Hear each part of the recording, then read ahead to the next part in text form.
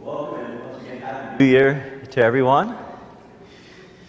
I see several visitors among us. We're happy, glad that you're here on this extended holiday weekend.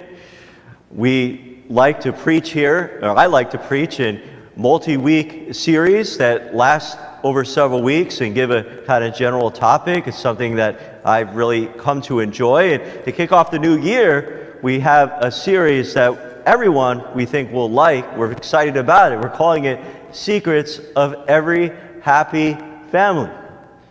You know, every one of us is from a family, and our families are as diverse as the number of people here in the church.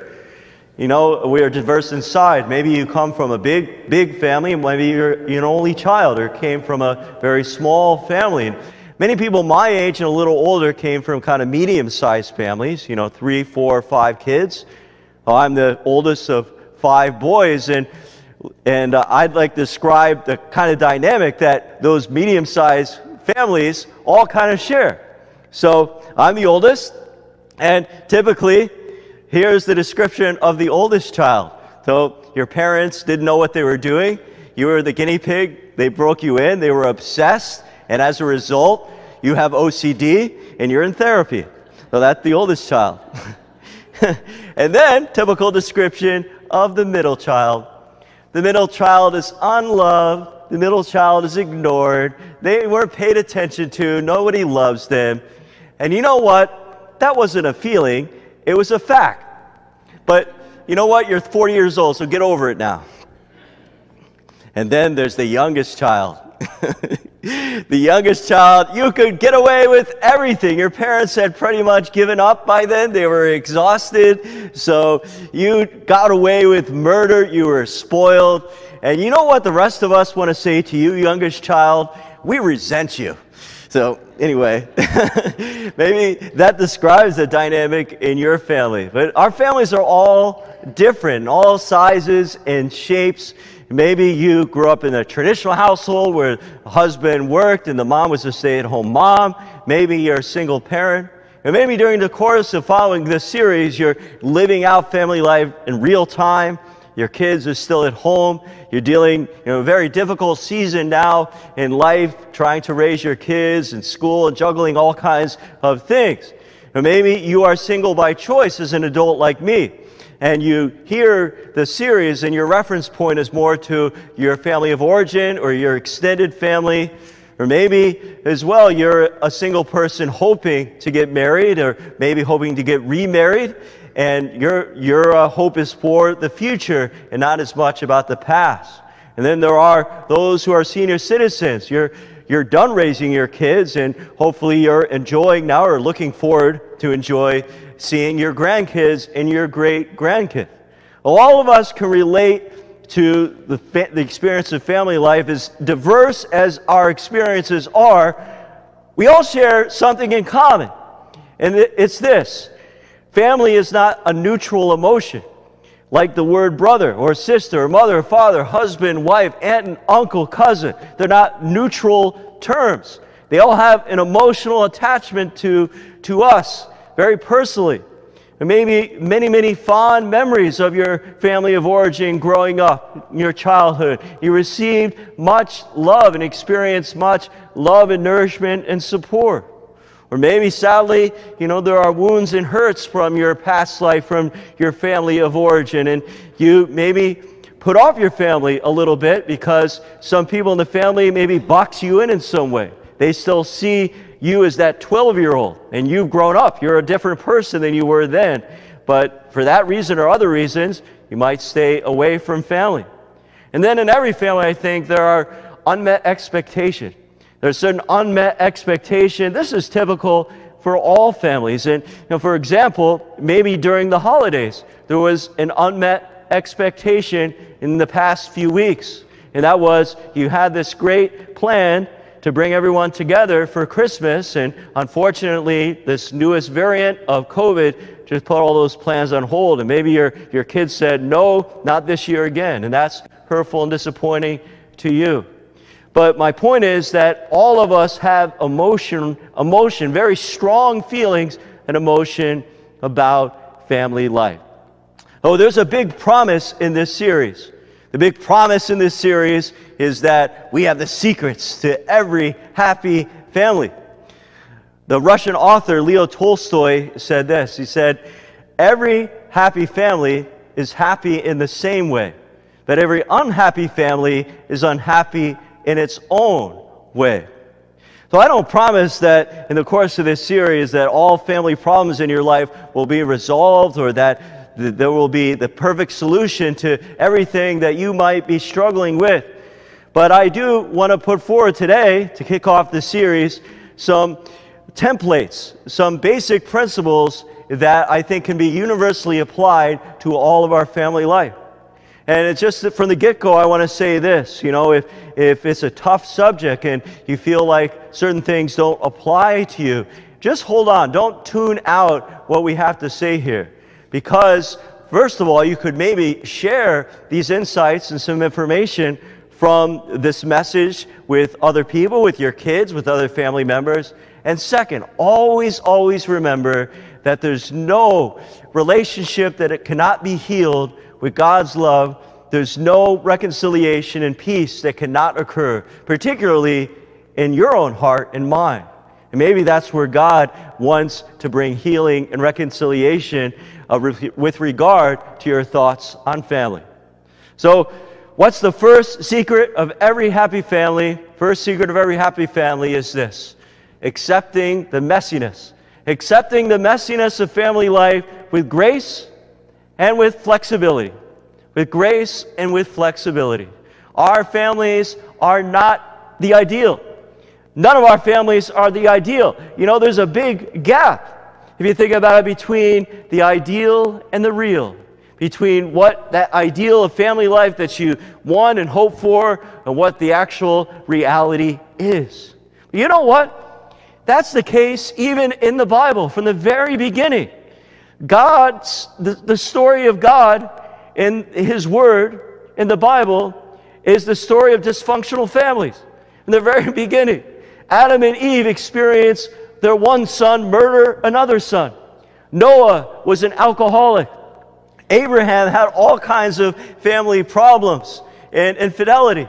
And then there's David, the adulterer. My point is that the story of God's Word is a story of dysfunctional families, yet God entering into that messiness. And that's the story of our life, isn't there?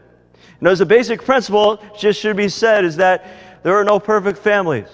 Why are there no perfect family? Because there are no perfect people. Accepting the messiness is the first step. And, you know, I, I would just suggest this if it's helpful to you, and with regard to accepting the messiness. You know, a lot of, of discord and dysfunction in families comes down to that lack, not meeting expectation.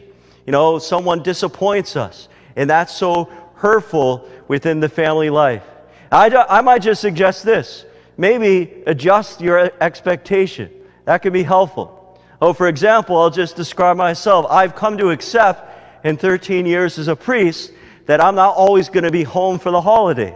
And that was a tough thing for me to first deal with, especially in a crazy holiday schedule like this, with Christmas being on a Saturday, New Year's being on a Saturday. It just keeps me away from my, my family. And I've also accepted this as a priest that not all my family is that religious, actually. You, you might be surprised. Wow, Father's family is not all that religious? Well, that's the case. When I was newly ordained 13 years ago, I thought that they would be calling me all the time for all these different events, and I would be around them all the time. And I've had to adjust that expectation because, you know what? They're not calling me. So I need, to, I need instead to go to them. So, the first principle, the first secret of every happy family, accepting the messiness and maybe just adjusting one's expectation. Here's the second secret of every happy family mutual respect. Mutual respect. Well, this is a big one, of course. You know, and I, think it begins with God respect for God. We respect for God and His authority in the household.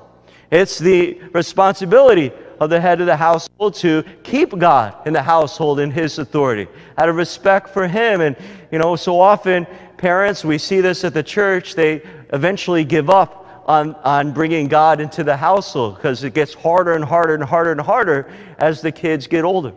Don't give up because in ceding and giving up God's authority, you're opening the door to things that are not from God. Mutual respect begins with the head of the household. If that's the father, the husband, it begins with you. And I would say this dads, husbands have a zero tolerance policy for disrespect. Have a zero tolerance policy for disrespect toward your wife or toward your kids. And that includes complaining, excessive complaining. That includes gossip, how destructive gossip can be within family life. Of course, the same thing is true for wives and mutual respect toward their husband and kids toward their parents, even parents toward their kids. You know, there's a difference and uh, everyone is sarcastic at times, you know, and we like to be playful with sarcasm. But there's a difference between playful sarcasm and passive aggressive sarcasm. You all know that. So if you want to respect and, and honor that respect in the family, clearly communicate. Say what you need to say, speak the truth. And kids as well, it's not just honoring your mother and father when you're young and in the house, but it's when you're older too, as adults, to honor and respect your parents as senior citizen. That mutual respect is so important. So, accepting the messiness, mutual respect, and then the third secret of a happy family is this a kind of commitment to a larger purpose. A kind of commitment to a larger purpose. Uh, so many families, I think, today are just trying to survive. You're trying to survive a difficult season personally in your life. You're trying to survive this difficult season of COVID. But just by coming to the church today, just by worshiping with us online, you're committing to an important purpose, a higher purpose, something beyond your family life, because that fight for a healthy family goes beyond your household. It affects the extended family, it affects the community, it affects the church. And it's cliche to say, but it's true. The family is the bedrock of society. The family is bedrock to society, and that fight you have for your family is worth it. It has an amazing impact.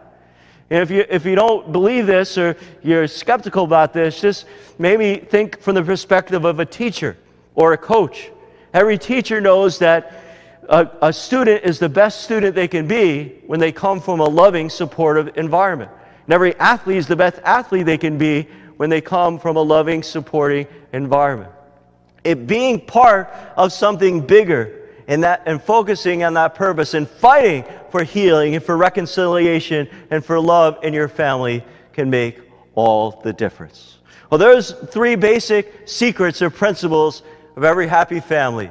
It's about accepting the messiness, it's about mutual respect, and it's about being part of something beyond yourself, a higher purpose.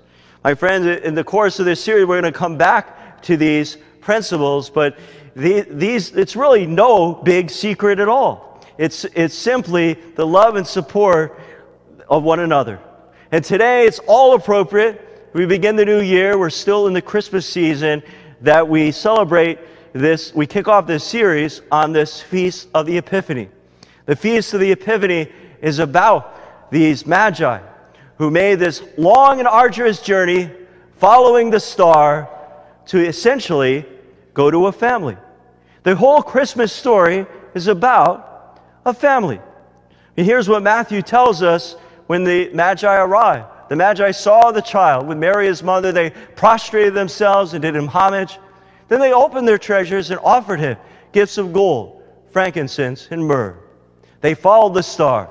They worshiped the new king, a king who is revealed in the context of a family. Well, Christmas is about the gift of salvation that has come to us in family life. The family, the Holy Family, Joseph, the Blessed Mother, our Lord. Joseph, who had to show great courage to protect his family as the foster father. The Blessed Mother, who had to show perseverance and strength know, to perhaps ward off those rumors. Why is she pregnant? Those, those prying eyes that were looking at her. These are characters that, that showed God's love in the midst of a mess, a, a difficulty, a challenge, the mess of regular family life. Nothing extraordinary about their, at their life. Well, my friends, we meditate today as we uh, continue the Christmas season on Jesus, Mary, and Joseph. And our families, we all know, are imperfect reflections of the, God's love. You know, God has chosen to reveal Himself in the family. Our families are certainly far from perfect. But in that perfection, imperfection, in that imperfection, there's a desire. There's a desire for something more. So, the, the invitation this week, my friends, is just to commit to this series. Commit to this series. Follow us for the next five weeks. We're going to talk about the roles of fathers and mothers and the importance of grace and family life. You can follow us uh, in person at all masses or online. And of course, this week, let's just lift up our families in our prayer. From our family to yours, I wish you a blessed new year and many prayers. My friend, because God has entered into this world in a family, we get to participate in our family life in God's work of salvation. How amazing that is. May God bless you and your families with health and prosperity and peace. Amen.